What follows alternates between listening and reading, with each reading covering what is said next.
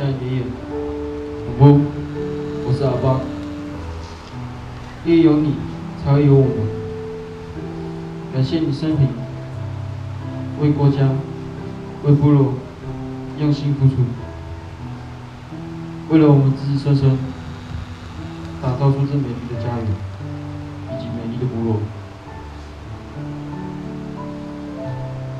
你现在终于可以好好休息了，我爱你，